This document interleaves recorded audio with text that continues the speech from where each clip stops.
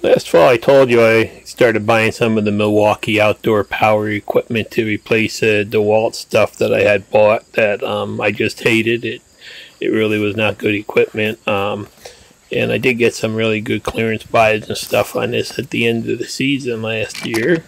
And I told you I'd do a video once I got a chance to use it for a while. So figured I'd make put one together today after using everything and um, you know give you a little idea of how I like it, how it works, and um, you know the different attachments that I do have. And you can see they're all pretty well worn now, so I've really gotten a good chance to give them a workout. All right, first thing I'm going to show you is like this hedge trimmer. Um, it's a it's a real handy thing, and it uh, makes things like uh, got this maple out front that I want to trim the leaves off of every couple of months. They grow down so they hit you when you walk under it and stuff. And you can see um, this makes it a really easy job. The attachment just goes right on there. You can change the angle of it and just walk around. Um, before I used to have to just go around with the hedge trimmer and hold it up over my head, and I just couldn't do that anymore. So you know, this really does uh, do a great job like that. And also, um, the hedges are overgrown, I decided today I'd, you know, do the video and finally get to cutting them. But uh, you can see this thing, uh, this hedge trimmer is pretty awesome. no bending over or anything really. It, uh, it reaches good. Uh, it's got about a six foot reach like that. It's a little heavier than a standard, uh, this my old uh, DeWalt trimmer was but it you know it makes up for it and how easy it is to use. And um, like this hedge is really I, I, let it go because I was waiting to do this video and you can see it's really overgrown now but um, you can see just how easy it is to, uh, to cut it with this big thing. You don't don't have to cut from the front cut from the back. It's about six foot wide and the you know the this one bar arm on it does uh, does make it just perfect for doing it. Um, and you can actually put a, a second extension on it, and or just one extension on it to um, use it for taller hedges and stuff like that. But it, you know, it really does a good job like this, and the it did come with a strap, and that strap really does, uh, you know, make everything easier too when you're holding it up and stuff, especially when you got muscle issues like I've had lately. I just thought I'd show you this thing uh, is a beast when it comes to uh, cutting hedges. And I'm a I'm kind of a butcher so you know I don't do a perfect job but um, this really turns it into a five minute job doing the hedges out front. And you can see you just pull that and this thing will index around 180 degrees. And you can stand back away and kind of get an idea you know sight it up that you're going fairly straight and stuff like that so it, uh, you know, it does help me a little bit, getting a little bit straighter, but, um, you know, I'll never be a, a good hedge trimmer, I think. I'm just a hedge butcher. And again, here it is on the side. Um, very little bending, you don't have to bend over and get down to the ground and stuff. You know, it does reach good and it, it does cut really good. It's, um, it doesn't cut up to like almost a three quarter inch branch. Also for trimming, you know, the bushes back from the house there um, trim that back and then I've got to trim that back at the hedge off too. And I did start with this um, I got about halfway down the hedge before I had to walk back there. And I did have enough you know clearance cut where before you always had a um, it was tough with the, the little hand one. I'll show you that in a second but this really did speed up the job and uh, you know it didn't didn't take that long at all this time Took longer to rake it all up and clean it up. And there it is, the first pass. I just have to go back through and um, do a little more evening on it, and that'll be it. Now, um, with one of the pieces of equipment, I did get this blower for free, and I've been using the DeWalt blower up till now, but this thing is uh, so much better. It's got so much more power um, so much better balance on it. And uh, the one thing with the DeWalt, it always sucked anything loose into the um, back of it there. Where this one here kind of has the battery there, so it doesn't grab onto you and you know suck your pants leg in or anything. And this one definitely does have uh, a lot more power too. Both brushes, um, both 18 volt, but uh, definitely this uh, this one here is good, and I'm just blowing off all that onion stuff I had from the onions I had out there drying. Always told me clean it up, so you know, definitely the Milwaukee's a winner in this case too. I think, uh, you know, in my opinion, it is. You may have a different opinion of it, but it's more balanced and easier to use. Now here's the old DeWalt hedge trimmers I've been using for a couple of years, and you know they do work good. They still they have uh, done a good job, and they you know they still do work good and stuff. And I'll probably keep them around because they're a lot lighter for you know littler jobs and stuff like that. But um, you know definitely. Uh, a lot more vibration and stuff like that. So now let's go down and do a little bit of weed whacking here with the weed whacker attachment. First of all, I'll show you these apple trees. Uh, you can see how dry it is. We've had such a drought, but we still do have apples, and they actually look pretty good this year with very little bug damage. So I guess the drought's helping. I just wanted to show you. We got some. These are one of those Cornell extension varieties. And there's a weed whacker head on it. And I do have the strap on it here, but you really don't need it with this one. You can see just how um, comfortable it is. Um, it's not like the DeWalt one where you had to kind of bend over and reach with the handle. And it does have a much longer arm on it, so you don't you can get right under the trees without uh, you know having to duck for the branches and stuff for like these apples and stuff. And it does have uh, quite a bit more power with a big cut. So um, this one, uh, you know, it's definitely a winner over that DeWalt one that had that handle you couldn't adjust and it had the really bad vibration that would make your hand numb after about 15 minutes. And you can see this one's just a monster. Does do a good job and it's, it's really comfortable to use. Um, the strap does help some, but you can see the, the head doesn't bounce off the ground. You don't have the weight of the head down there that you're fighting try to keep it level and stuff. Just uh, well balanced and it just kind of floats along there. So, you know, none of those uh, brown spots where the head went down and, you know, hit the ground, dirt. And again, it's it's got that long enough arm on it that you can get down under trees and stuff like this without any problem. A little bit of reaching, but um, you don't really have to fight with it because it's really well balanced. And again, I'm going to take the strap off just to show you. See, it's, it's perfectly balanced here with the uh, 8 amp hour battery it comes with. And um, real easy to just keep it a controlled height off the ground. You just swing with it and no problem whatsoever. No, no fighting it to keep it up off the ground. I just wanted to show you and you know tell you that this one's definitely 100% better than the um, that DeWalt one that I did do the review on.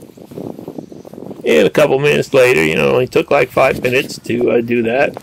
And again, I these uh, do use the 8 amp hour batteries, and I get about the same out of this one with 8 amp hour as I did out of the DeWalt with the 6, but I get twice as much work done. And the chainsaw does have the 12 amp hour, but that's too heavy for the weed whackers, I found out. Alright, so let's look at the chainsaw next. Um, as you saw, I started out with that DeWalt saw, and I was never really happy with that one. Didn't cut good and um, leaked oil. Well, guess what? This one actually does leak the bar oil also. Looks like it's a problem with all of them.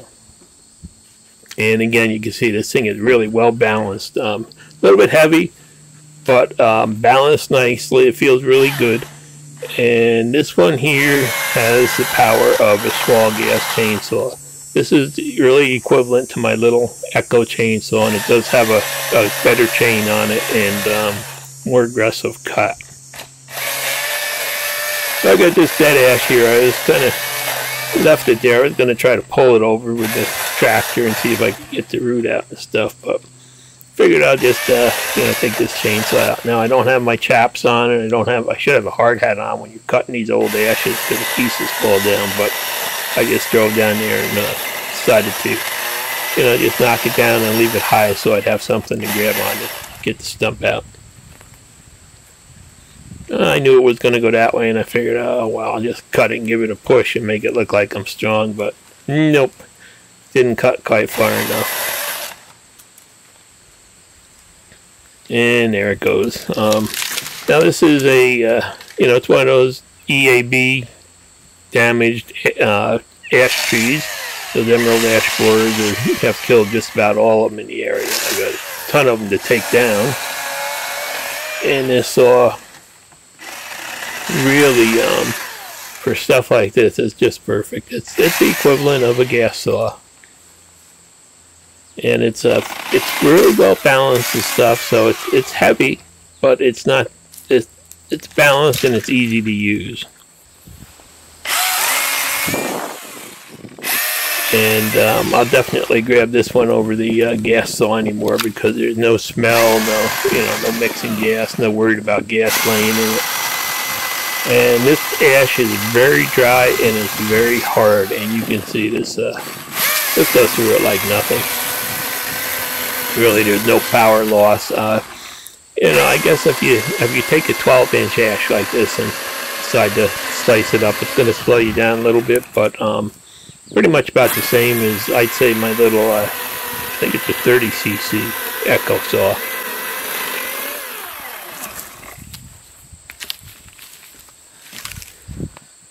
So this, uh, you know, this definitely is 10 times better than the, um, the DeWalt one that I bought, and I'll show you that in a second.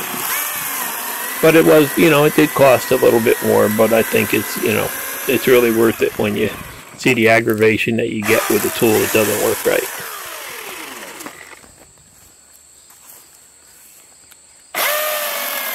I'm just going to cut this up a little bit here, get down to the smaller size before I pull out the DeWalt saw. That one really struggled with um, the hard ash like this.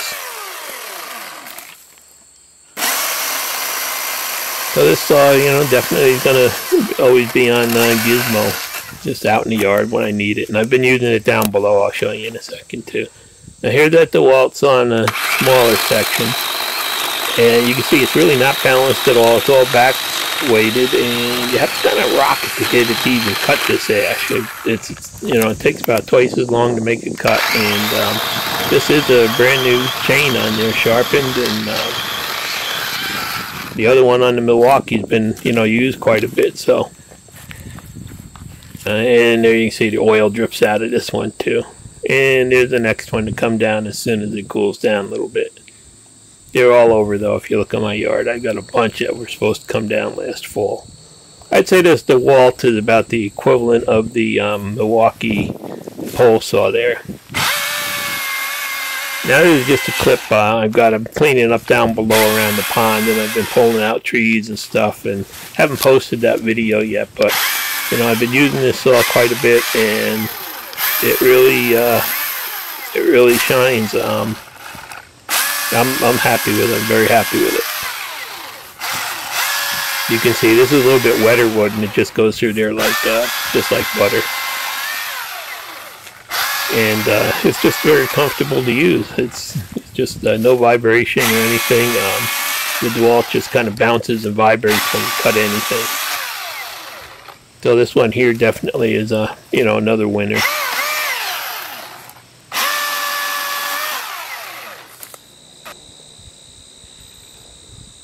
That makes short work of, uh, you know, cleaning up a, a, little tree or something like that. Um, you know, it's not for big firewood, but it's, you know, anything up to about 12 inches, I'd say you'd, you know, have a good chance of cutting it with this.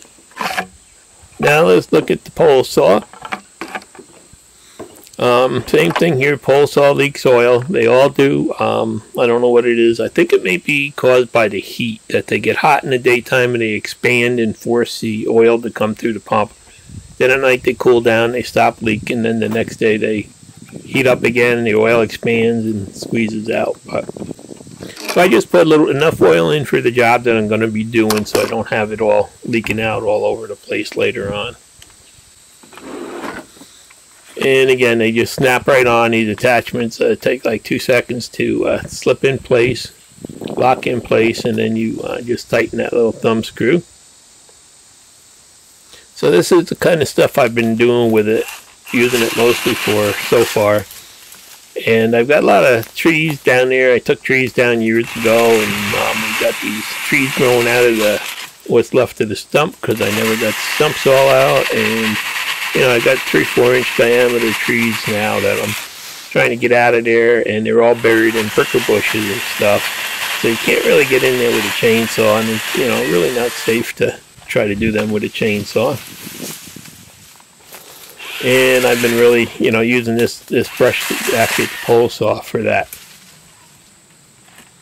And it does, um, you know, it does a good job of that, and it's not as fast cutting as the the bigger chainsaw. It's got a different chain on it. I think it's got the equivalent chain of what that DeWalt had on it. It seems to cut about the same speed as that, but it's pretty comfortable to use. It's no vibration, really well balanced and stuff. So, um, no noise from you know a gas motor or anything like that. It works every time, so I'm happy with it. Um, I never did buy the DeWalt variety of this. I, I gave up on DeWalt tools, uh, you know, right about after the chainsaw and the weed whacker. But um, here you can see it's you know no problem making cleaning up a big mess. So uh, definitely uh, another handy thing, and especially when you're dealing with I've got some big berry bush, prickle bushes, and rose bushes and stuff I have to clean up, and uh, this really need something long for them. And about the only thing that I, I really don't like about it is the um, the blade is fixed on the end. You can't rotate it or anything, but um, that's good and bad, I guess. It gives you a more durable gearbox and assembly because that's usually what breaks on this type of saw. So, um, you know, it's, it's one thing that you have to learn to live with because it does it's easy to get pinched and stuff like that if you're um, not paying attention when you get into this tangled brush and stuff like that. And I did uh, get it pinched. Actually, I should have checked the chain. The chain was loose when I started. I really didn't tighten that. I should have tensioned it. But I did get it caught in one of those branches, and I took the chainsaw down and just cut it out. And you can see um, it did get, you know, pretty well tangled in there the chain caught caught sideways and it jumped off the uh, sprocket, I guess, the drive sprocket, and came loose. Because it was probably just too loose to start out when I look back at the video when I first picked it up. It's a simple thing to, to get it back on track, just uh, loosen it up a little bit. Tighten that back up, and um, you know, the tool does come with it, but it's no place to attach it to it, so you have to carry it separately. But there we are all ready to go again.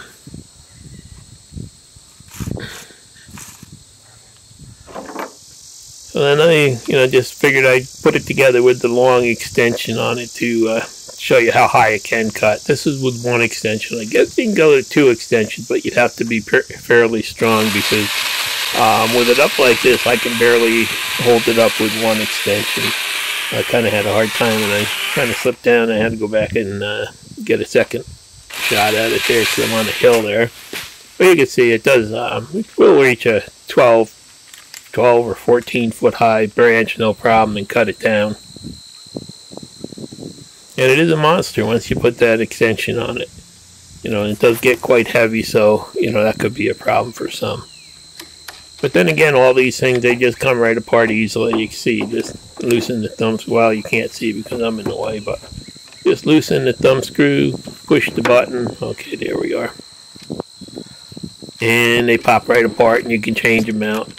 Now there is one more attachment for it that I don't have, a uh, bed edger. But, uh, you know, basically I have all the rest of them and I have two of the power heads.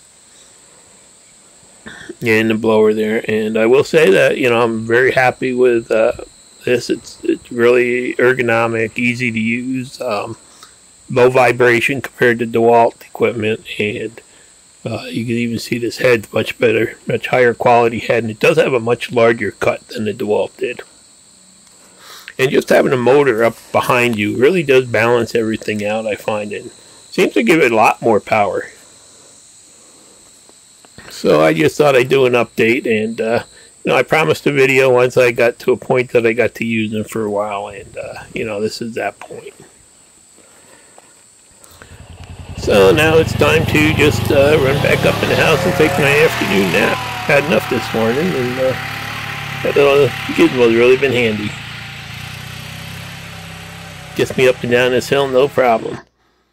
And I did finally eat one of those apples, and yeah, it was really good. A little bit dry tasting, but you know, really tart and sweet, kind of, and nice. So there you have it. First looks at all this uh, Milwaukee outdoor power equipment, and I'll do updates, you know, as I go along. Thanks for watching. Please subscribe.